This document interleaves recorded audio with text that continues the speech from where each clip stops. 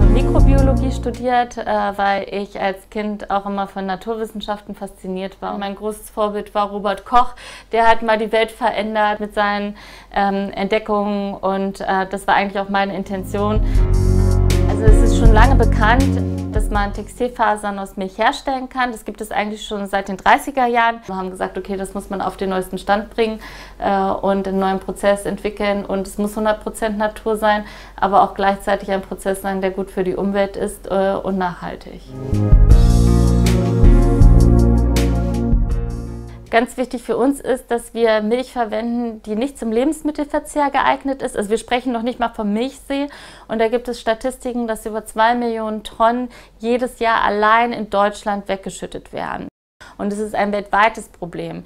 Äh, das heißt, für die Herstellung 1 Liter Milch äh, entstehen 1,4 Kilogramm CO2. Jetzt rechnet man das hoch auf 2 Millionen Tonnen. Das sind 2,8 äh, Millionen Tonnen CO2, die jedes Jahr entstehen und die einfach wieder entsorgt werden, ohne dass es einen Nutzen bringt. Wir nehmen diese Milch, wir upcyclen die, können damit auch den CO2-Ausstoß kompensieren und machen da noch was Wertvolles daraus. Es entstehen äh, keine Abfälle, man braucht nur maximal 2 Liter Wasser. Im Vergleich dazu, für die Baumwollfaser benötigt man bis zu 29.000 Liter Wasser für ein Kilogramm an Baumwollfasern. Das heißt, äh, wenn man das alles zusammen nimmt, sind wir sogar die Faser mit der geringsten CO2-Bilanz. Zudem äh, sind wir auch noch kompostierbar, was heutzutage ja sowieso ein ganz großes Thema auch noch ist. Unser Verhältnis zu Textilien hat sich komplett verändert.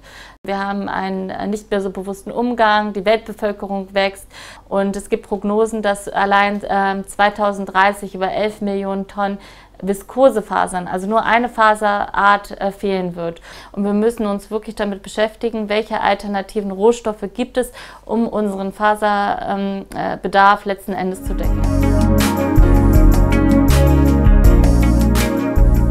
Ich denke, dass es heute sehr viele wissenschaftliche Nachweise gibt, dass uns die Klimaerwärmung bevorsteht.